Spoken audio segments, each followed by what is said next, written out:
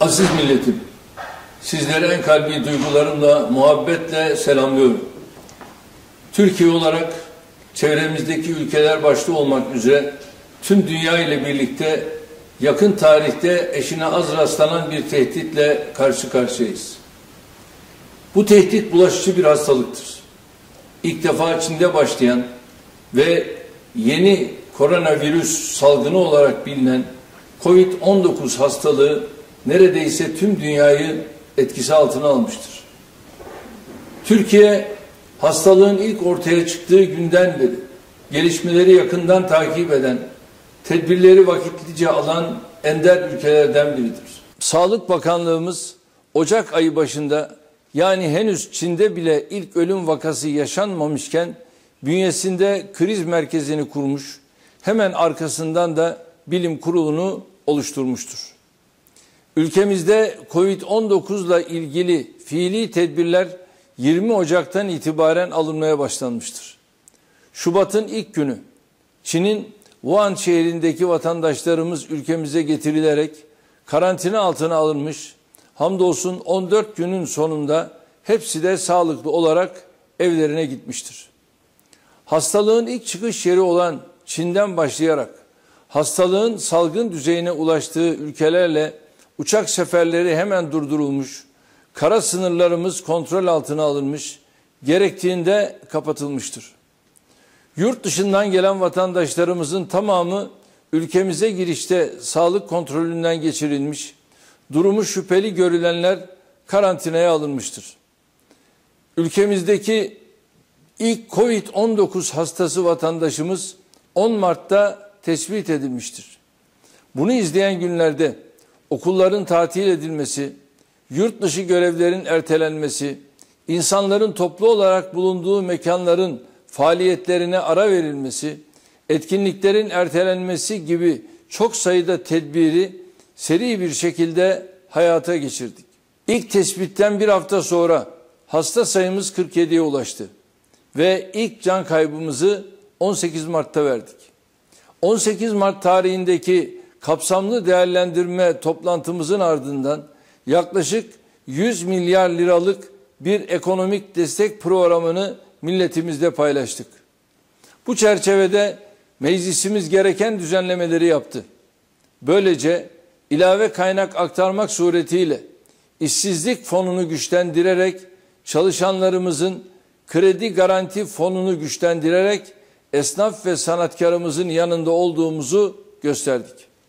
Ayrıca en düşük emekli maaşını 1500 liraya çıkartırken Ramazan bayramı ikramiyesinin ödenme tarihini de Nisan başına aldık. İstihdamı korumak amacıyla kısa çalışma ödeneğinin şartlarını kolaylaştıran, telafi çalışma süresini azaltan, sosyal yardımları artıran düzenlemeyi de hayata geçirdik. Hem hastalıkla mücadele hem de bunun ekonomik sonuçlarının telafisiyle ilgili ihtiyaç duyulan ilave tedbirleri peyderpey ilan ettik. Önümüzdeki süreçte de bu konuda gereken adımları atmayı sürdüreceğiz. Bugün itibariyle dünya çapında COVID-19 hastası sayısı 426 bine, ölü sayısı da 19 bine ulaşmıştır. Ülkemizde ise 53 bin vatandaşımızı evlerinde izlemeye, 8554 vakayı ise hastanelerde takibi aldık. Bunlardan 797 kişi tamamen iyileşip taburcu olurken 4603 kişiden numune alınarak ileri tetkik yapıldı. Covid-19 teşhisi konan 1872 kişinin tedavisine devam ediliyor. Tedavi altındaki hastalarımızdan 44'ünü ise maalesef kaybettik. Hayatını kaybeden vatandaşlarımıza Allah'tan rahmet, yakınlarına başsağlığı ve sabır diliyorum. Aziz milletim, malum olduğu üzere bu virüs daha çok kronik hastalığı olanlar ile yaşlılarda ölümcül sonuçlara yol alıyor. Hasta ve yaşlarımıza virüs bulaşmasını önlemenin tek yolu kendimize gönüllü karantina uygulamak yani mecbur kalmadıkça evden dışarıya çıkmamaktır. Nitekim vefat eden hastalarımızın tamamında da Covid-19 yanında ilave rahatsızlıklar söz konusuydu. Özellikle yaşlarımızın hem kendilerinin hem de diğer insanların sağlıkları için bu süreçte kesinlikle ve kesinlikle dışarıya çıkmadan hayatlarını evlerinde sürdürmeleri şarttır. Yaşlı büyüklerimizle ilgili hassasiyetimizin sebebi onların diğerlerine hastalık bulaştırıyor olması değil, onlara hastalık bulaşmasının önüne geçmektir. Bunun için başımızın tacı olan yaşlarımızı sevgiyle, saygıyla, ihtimamla korumalıyız. Büyüklerimizi incitecek en küçük bir saygısızlığı dahi kabul edemeyiz. Sağlık hizmetlerinin kapasitesi ve kalitesi konusunda hiç kimsenin şüphesi olmasın.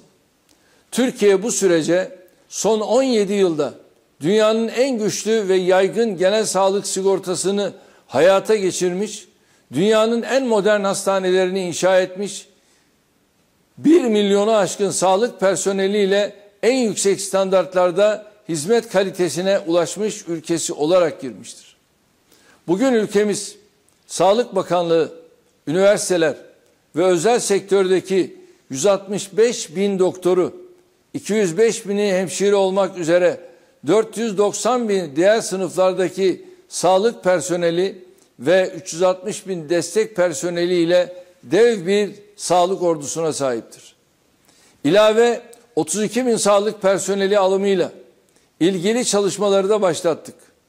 Ayrıca gelişmiş üretim gücümüzle sağlık sektörünün ihtiyaç duyduğu pek çok malzemede kendi kendimize yeterliyiz.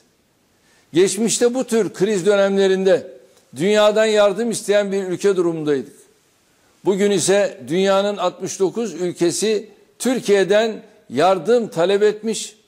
Bunların 17'sine de imkanlar nispetinde gereken malzemeler gönderilmiştir. Dostlarımızı bu sıkıntılı günlerinde yalnız bırakmamak için elimizden gelen çabayı gösteriyoruz. Her türlü senaryoya karşı hazırlığımız vardır. İyi bir izolasyonla hastalığın yayılma hızını 2-3 hafta içinde kırarak bu süreçten olabildiğince en kısa sürede ve olabilecek en az hasarla mutlaka çıkacağız. Aksi takdirde çevremizde pek çok örneğini gördüğümüz şekilde daha ağır sonuçlarla ve buna bağlı olarak daha ağır tedbirlerle karşılaşmamız kaçınılmazdır. Devlet olarak tüm kurumlarımızla üzerimize düşenleri yaparken vatandaşlarımızdan da destek ve anlayış bekliyoruz. Sağlık, güvenlik ve sosyal yardım kurumlarımız başta olmak üzere bu hastalığın yayılmasını önleyecek tüm birimlerimiz tam bir seferberlik anlayışıyla çalışmalarını sürdürüyor. Belediyelerimizin gıda ve temizlik malzemeleri tedarik zincirinde çalışanlarımızın ekonomiyi ayakta tutmak için üretimde ve hizmet sektöründe faaliyetlerine devam eden kuruluşlarımızın gayretlerini de takdirle takip ediyoruz. Vatandaşlarımızdan tek ricamız önümüzdeki kritik günlerde hastalığın yayılma zincirini kırmak için Sağlık Bakanlığımızdan, İçişleri Bakanlığımızdan ve diğer ilgili kurumlarımızdan gelen ikazlara harfiyen uymalarıdır. Böylece hep birlikte mümkün olan en kısa sürede normal hayatımıza dönme imkanına kavuşabiliriz. Önce insan diyen böyle bir yönetim anlayışıyla hareket ettiğimiz için her vatandaşımızın canı bizim için aynı derecede değerlidir. Bunun için evde kal Türkiye diyoruz. Bunun için sosyal mesafeye dikkat edilmesini yani diğer insanlarla aramızda hastalık bulaşmasına imkan tanımayacak mesafe bırakılmasına özen gösterilmesini istiyoruz. Bunun için temizliğe önem verilmesini, özellikle dış temasların ardından ellerimizin mutlaka yıkanmasını, kolonyayla dezenfekte edilmesini tavsiye ediyoruz. Bunun için yaşlarımıza ayrı bir ihtimam gösteriyoruz. Bunun için vatandaşlarımızdan destek, sabır ve anlayış bekliyoruz. Aziz milletim, ülke ve millet olarak bugüne kadar karşılaştığımız her sıkıntının, uğradığımız her saldırının üstesinden birliğimize, beraberliğimize, kardeşliğimize daha sıkı sarılarak geldik. İnşallah bu koronavirüs tehdidini de aynı şekilde yeneceğiz. Velev ki gözle görülmeyen bir virüs olsun.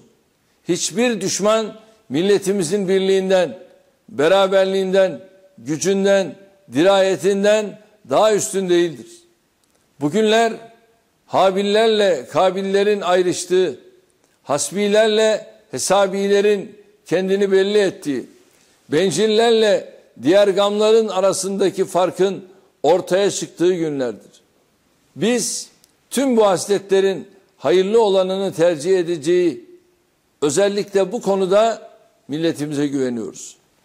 Her meselemizde olduğu gibi Rabbimizin yardımının bu sıkıntımızda da yanımızda olacağından şüphe duymuyoruz.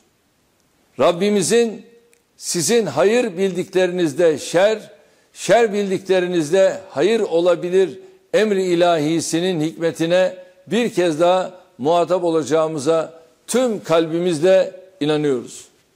Dünya bu salgın hastalığın ardından hiçbir şeyin eskisi gibi olmayacağı, yepyeni bir küresel siyasi, ekonomik, sosyal sistemin inşa edileceği bir döneme doğru gitmektedir. Türkiye olarak bu yeni döneme çok büyük avantajlarla ve güçlü bir altyapıyla giriyoruz. Önümüzdeki 2023 hedeflerimize umduğumuzdan daha kısa sürede ulaşabileceğimiz bir fırsat duruyor. İnşallah aydınlık yarınlar bizi bekliyor. Yeter ki ikazlara riayet edelim. Sabırlı olalım. Dikkatli olalım. Dikkati elden bırakmayalım. Kendimizin ve çevremizin temizliğine ihtimam gösterelim. Tedbir bizden, mücadele bizden, ferasetli davranmak bizden, takdir Allah'tandır. Kalın sağlıcakla.